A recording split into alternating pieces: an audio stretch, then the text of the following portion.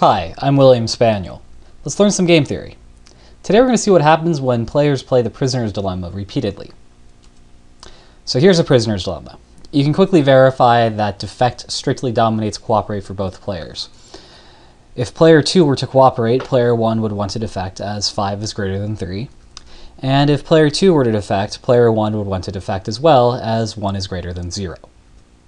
So defect strictly dominates cooperate for player 1, and this is true for player 2 as well, but I will leave it up to you to verify that in case you don't believe me. But you should, because I'm telling you the truth. The Prisoner's Dilemma has been around longer than any other game in our field of study, and for a long time there was this theory that if you could play the Prisoner's Dilemma enough times in succession, that you might be able to sustain a cooperative equilibrium. So instead of everyone just always uh, defecting on each other every single time we played, we might be able to cooperate based off of past play and trust in one another that we would continue cooperation instead of uh, going for this temptation to defect. But like I said, this was just a theory. It was sort of an urban legend of game theory, uh, something that everyone thought was probably true, but no one could actually pin down why it was true.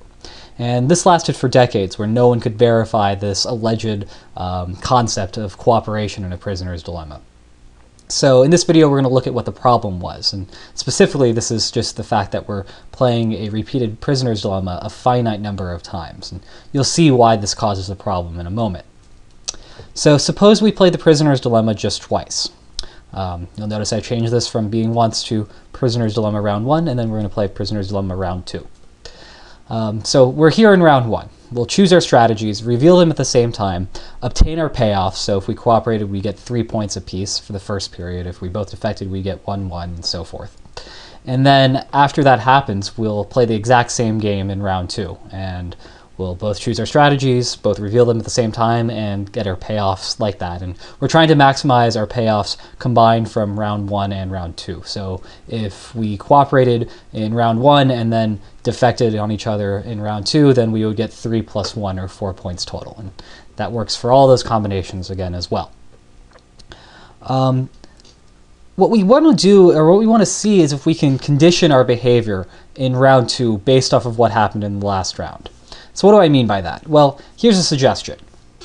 Both players make the following resolution to each other. They promise to cooperate in the first round, and in the second round, each player will cooperate with the other only if the other cooperated in the first round, sort of as a reward for cooperation in the first round. And this seems really good. If we played the defect-defect equilibrium both times, like we would in a one-shot prisoner's dilemma, just played twice, we would only get two points total. However, if we both cooperated twice, we would get 6 instead, and 6 is a lot better than 2. And also note, even if we just managed to cooperate in the first period, if we both played cooperate, cooperate um, in period 1, then we would get 3 points for just that first period, which by itself would be better than if we defected on each other twice.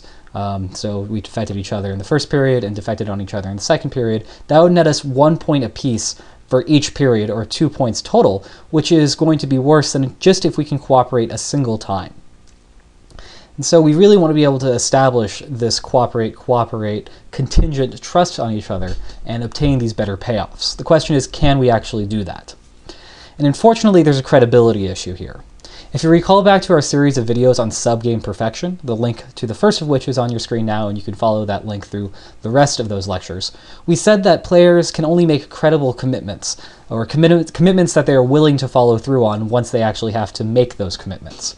And while I haven't drawn out the extensive form of the repeated, repeated prisoner's dilemma because there are just so many branches to draw for that in a two period game, let alone um, a three or four or so forth number of times that we're playing, we can still use the same logic of subgame perfection um, in the problem that we're looking at currently, even though we don't have this extensive form drawing of it. That really doesn't matter.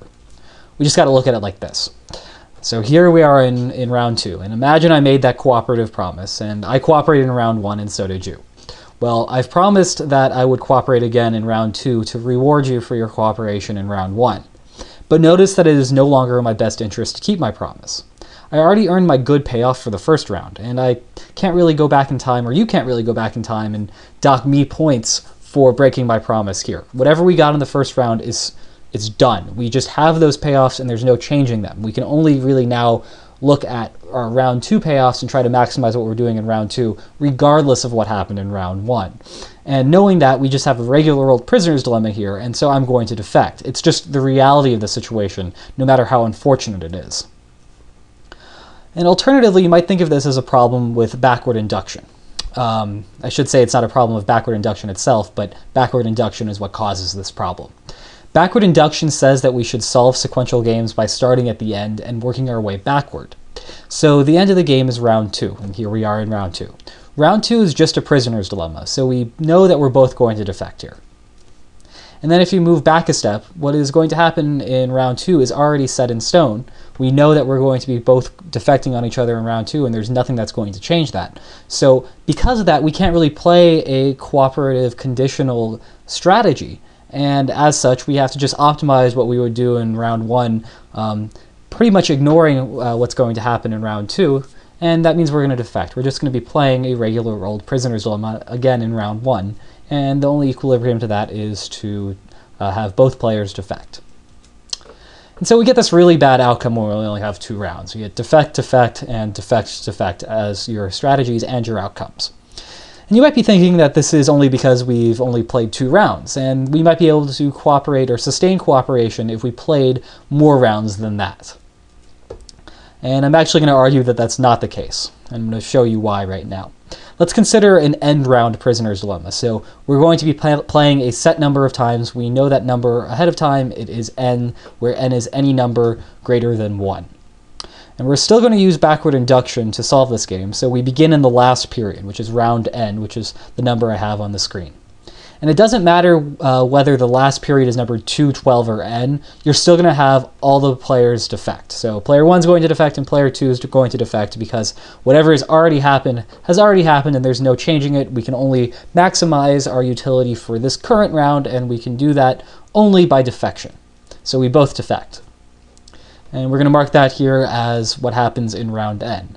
Now, if you go back another period, we're not going to be able to play a cooperative contingent strategy in the last round, so we both know that we're going to defect in the second to last round as a result of that. And now we know that we're not going to be able to play a cooperation contingent strategy in the last two rounds, so we can only rationally do one thing in the third to last round, or round n minus 2, and that is to defect. And you can work through this logic all the way back to the first round and eventually you just get defection everywhere.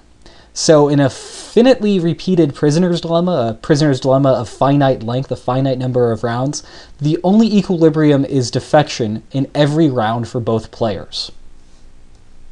Does that mean cooperation is hopeless? Well, not quite. The reason you end up with defection in every period, period is because the game has a precise ending, which is round n, that both players know uh, ahead of time and have to play around as a result. But what if the game never ended, or you weren't quite sure when it was going to end? As we will see in future videos, that can actually be sufficient for cooperation to occur in equilibrium.